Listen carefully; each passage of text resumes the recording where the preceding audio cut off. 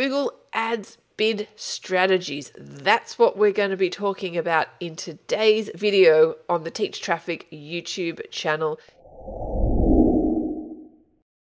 It can be really confusing to know which bid strategy to use for your campaign. So, I'm going to cover each of the different bid strategies, why you would possibly consider using that one, and also which one I personally use in my own campaigns and advise others at the Teach Traffic community. That's what we're going to be talking about. So, big picture, essentially what you need to decide on first is if you're going to do Google's manual bidding or automated bidding as it sounds, manual bidding is where you decide the maximum that you're willing to spend on a cost per click basis. And obviously, it would differ for the different keywords that you're bidding on, but you are tinkering around with those different bids versus Google's automated bidding, where you hand over the reins, the bidding reins to Google, and they are going to uh, decide what to bid on for a click. And obviously, they use all their different data points to make that decision of what to bid on. All right. I'm not going to spend time talking about manual bidding in this video because it's pretty self explanatory. What I'm really going to focus on are all the different automated bid strategies that you can choose from. And how you decide on which different bid strategy to, to choose really depends on what your objective is, all right? What your goal is from your campaign. So if your goal is to um, get more leads or get the phone to ring or, or just basically bring in more more leads, then the bid strategy that you would possibly consider would be either maximize conversions or target CPA bidding. This is sort of big picture. If your objective is to get more sales, so you're in e commerce and you're trying to actually generate revenue online, then the bid strategy you may consider choosing would be maximize conversion value or target ROAS bidding.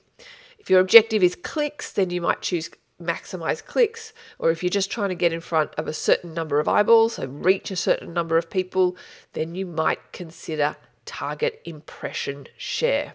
All right, so I'm going to go through each of these in a bit more detail so that um, it will be have a bit more clarity. And it's probably best if I go through uh, and I show you where to find these in your Google Ad account. So here I am in my Google Ad account, and actually the bid strategy that I've chosen for this particular campaign I'm running. Uh, if you're unsure, we can just change our columns and we can go to our attributes and we go to bid strategy type and we go here and I am doing maximize conversions. Okay, so how we change our bid strategy or look at all the possible bid strategies to choose from is we have to go to the settings at a campaign level. So I go into my campaign and I go into settings and then there's the bidding section down here. So if I click on this, just to show you all the possible bid options you can choose, I'm going to go to change bid strategy. I'm going to do this. And if I click on this, these are all the different automated bid strategies I'm going to talk about. And obviously this is manual CPC bidding, which we're not going to do. So if I hover over maximize clicks as the help um, uh, shows, it says it sets bids to help you get the most clicks within your budget. Personally, I'm not a fan of maximize clicks because I would prefer Google's algorithm to optimize for what is my ultimate goal, which is sales or, or leads or whatever I um, whatever it is, my conversion objective. Okay.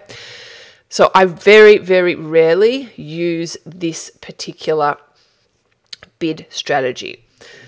Maximize conversions, which is the one I'm currently running, uh, so this is one of my preferred options, which is, as the help says here, is to set bids to help you get the most conversions within your budget. Now, the risk with maximize conversions is that it's going to get as it's trying to get as many conversions as possible, almost regardless of the cost. Okay, so it can kind of go a little crazy with your bids, and so just warning when if you were to use maximize conversions that the bids can be quite high because Google's just doing everything they can to get as many conversions as possible within the constraints of your budget. Okay, the default setting is for this target cost per acquisition to not be clicked, but you can select this where it's which is the target CPA bidding, as I mentioned earlier in the video, which tells Google I want to get um, as many conversions as possible. And this is my target cost per acquisition. This is my target cost per lead that I want you to try and get. All right. So, very, very often we use this bid, this bid strategy. I'm actually a big fan of using this bid strategy especially the target CPA option, because it's pretty good actually at achieving that. However, your account does need a certain amount of data in order for Google to have enough data points to really optimize for this. The risk is if you set your target CPA too low, because who doesn't want cheap leads, right? So I might set my target CPA for, you know, $5 and Google then is very, very constrained in what it will show impressions for and clicks. And so the risk if you set your target CPA too low is that you don't get any impressions and you don't get clicks, etc. Okay, so um, I my personal preference is to set my target CPA to be higher than what I'm actually willing to pay for. To, to kind of give Google enough rope to to find my target customers and then over time I could possibly reduce it. Okay. The other type of bid strategy is maximize conversion value. All right. So that's like the equivalent for maximize conversions, but it's it's optimizing for a conversion value.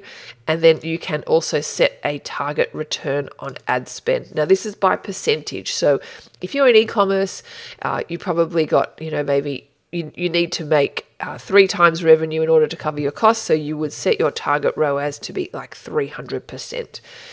We've had situations where we've set our target ROAS to be 100%, which means we just kind of want to break even because there's uh, a recurring element to their particular product and they're willing to lose money on, on the front end of the sale.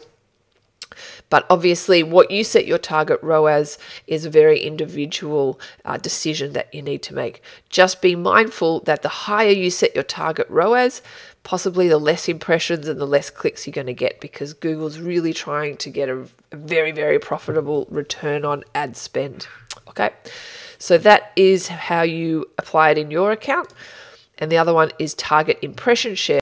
And essentially, it's, you know, sets you, well, tells you here, automatically set your bids to increase your ads' chances of appearing in the search page. And you can select where you want your ads to appear, anywhere on the results page, the top of the results page, or the absolute top. So the difference between top of results versus absolute top, the top is above the organic listings versus the absolute top is the number one ad spot. All right, so you can say, yes, I want to be the top of the results page.